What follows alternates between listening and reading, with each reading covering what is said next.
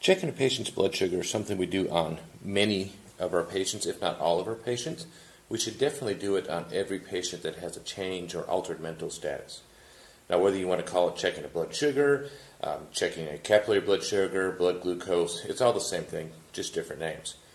When we are checking it, we need to assemble our equipment. So I have my glucometer and I have strips. Now, these strips need to be what matches the glucometer. So I usually get a strip out have it available. Now, I would put on gloves when I'm dealing with a patient, but I'm doing this to myself, so I can't wear gloves and check a blood sugar. Um, I have my lancet, 4x4s. Some people will have a band-aid out, and I need a sharps container.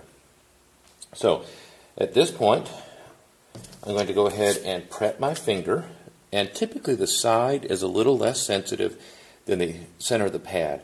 So you usually pick the side. And you want to think about which side is going to be down so you're not having to crank the wrist in a weird angle to try to get it to, to milk out.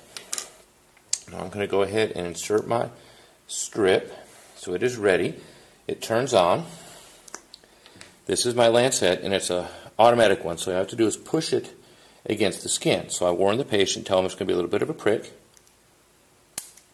Prick. And that immediately goes in the sharps container. Now I bleed a little bit out, and then I use a 4x4 to wipe away the first drop of blood. Now to milk it, we start at the base of the finger and squeeze down until we can get enough of a drop, and we don't need much. That's probably sufficient. Then we take the tip of the strip, touch it to the blood, and a capillary action, it brings it up, and then it will start counting down. I'm going to hold pressure on the on the bleeding area some people put a band-aid on it, and my blood sugar is now 122. And that's what we would report on the patient care report. This does not have to go in a sharps container, although many times people will put it in there, but it should go in a biohazard uh, waste bag.